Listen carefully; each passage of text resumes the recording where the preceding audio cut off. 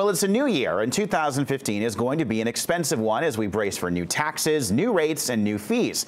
Get ready to pay more for everything from health and auto insurance to the cost of taking a ferry. Our medical services premium tax is increasing by $96 for families of three or more. It's going up 60 bucks for couples and $23 for individuals.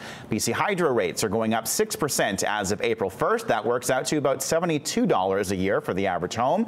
ICBC is expected to raise basic auto insurance, about $36 for the average vehicle. Cities are still working on their budgets. Surrey announced a $162 property tax hike for an average home, and Vancouver is looking at a similar increase. BC Ferries is tacking on a 3.9% fare increase as of April 1st.